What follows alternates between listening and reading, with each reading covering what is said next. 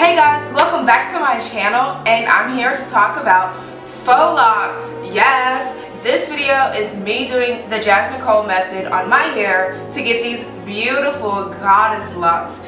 I love goddess locs so much just because the curls at the end is just kind of what makes the style for me. So I guess we can just get straight into the how-to tutorial. I feel that after you see it like once or twice in this video, it would be super easy to you and you'll be like, oh yeah, why didn't I think of that?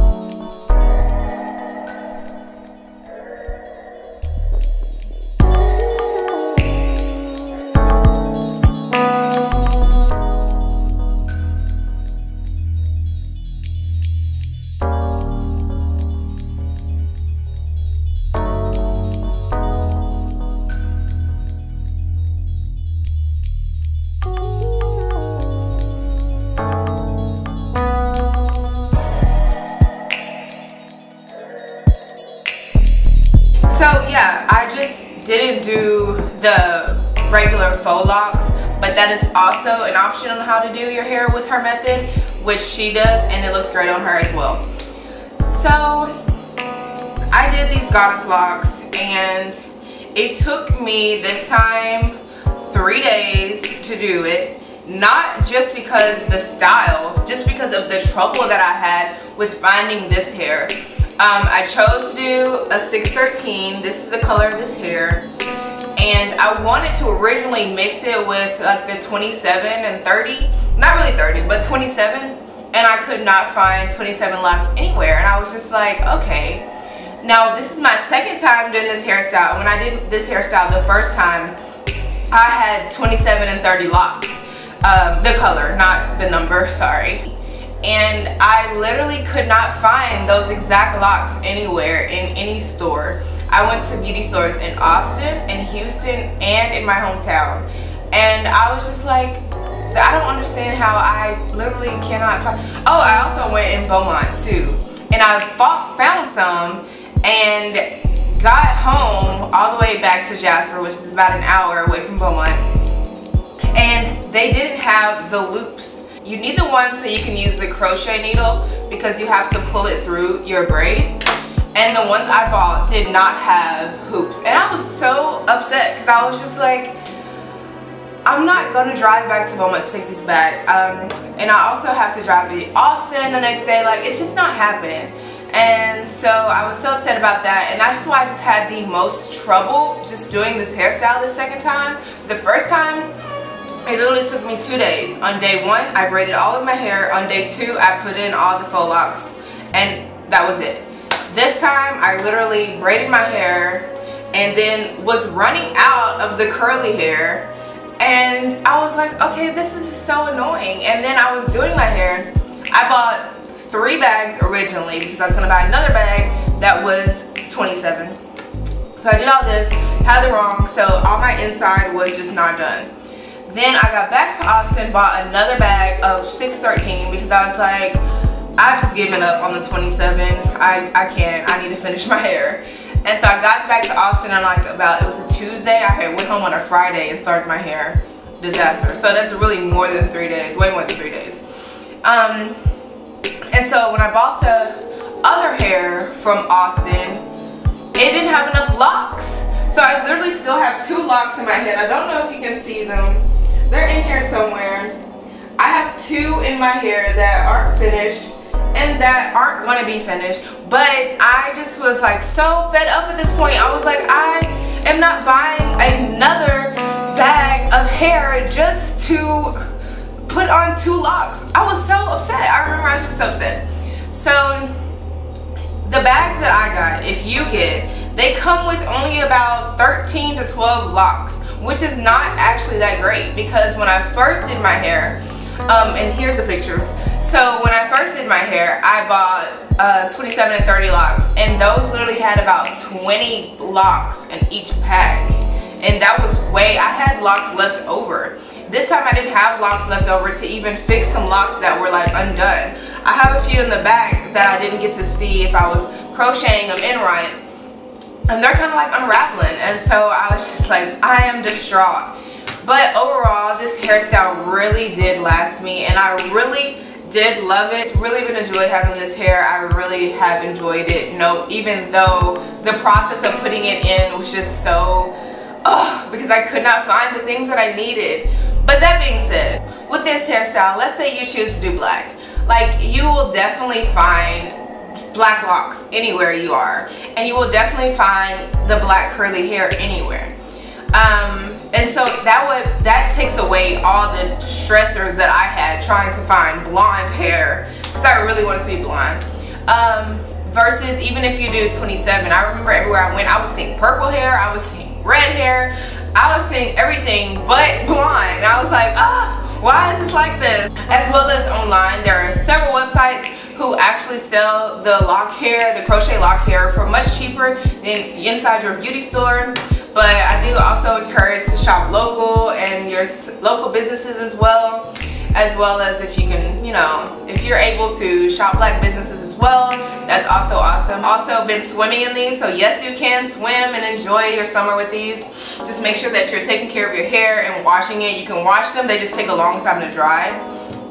Um, but that also leads to your hair looking like this when you do that because you know if especially if you're natural it's just gonna like pop out. It's inevitable to um, to be get away from so it just kind of happens. Uh, normally I just do my baby hairs and I pull it back like this in this princess style um, I wanted to switch it up so yesterday when I went out I added this to my hair this little bandana because I thought it was gonna be cute and I just did my baby hairs around the edges and it's good to go. It just looks like looks like me. I have some charms in here. I don't know if you can kind of see them some of them. They're just kind of everywhere scattered please like subscribe and comment and share do whatever you want to this video if it really helped you and if I really helped you discover a new hairstyle that you thought you couldn't pull off um, as well as watch some of my other videos I also have a wig playlist that you can watch it's my wig series